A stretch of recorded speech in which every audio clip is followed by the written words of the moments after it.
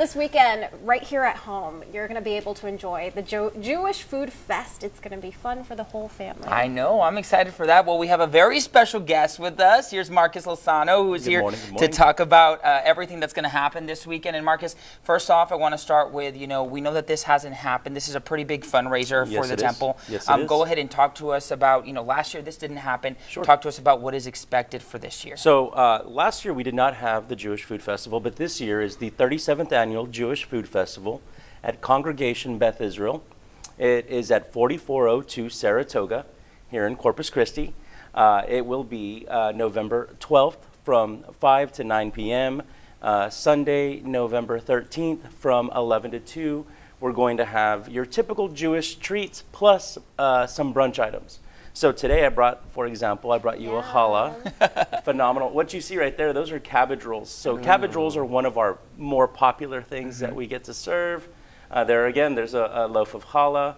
Um, it's going to be really exciting. It's the Jewish Food Festival. It's a silent auction. It's a vintage shop. We have live music. You'll have inside and outside seating. So it's just a really great time for the whole entire family. I can smell this bread from where we're standing. Isn't it smells amazing? Let's kind of, delicious. you Yeah. kind of see. And it there looks you go. beautiful. Ooh. Thanks Yeah. for bringing this in. Of course, for this is for y'all. Have at it, enjoy it. it it's uh, it has lots of carbs though, guys. Sorry. It's We're okay. worried about We're not worried about that. It's the weekend. The weekend Ah, is coming, so I mean, we're pretty excited for that. And back to the event. Yes. Um, how is it different this year, especially that we're the pandemic is a little bit more Right. behind us now? So, um, in 2020, we decided to go forward with our, our Jewish Food Festival, but it was a drive through.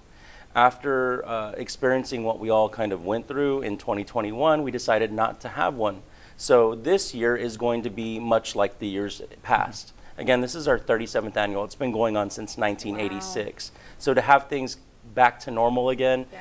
you know, we're just so excited to be able to do this for you all. And so, Marcus, I want to ask you. You know, we know that uh, you know this uh, hasn't happened, like you said, and uh, we saw that last weekend with the Greek Fest. It was Right. just a big hit. A lot of people wanted to get out. This uh, weekend, we're hoping for a big hit with the Jewish Yes, Food absolutely. Fest. Um, so, you know, how, around how many people are y'all expecting this uh, this weekend? So you know the the funny thing is we don't actually count people by how many heads come through Yeah. the door. Uh, every year we make 1,200, 1,400, 1,600 cabbage rolls, and we sell out every time. So that's how we gauge it Yeah. by if, by sellout, and we typically do.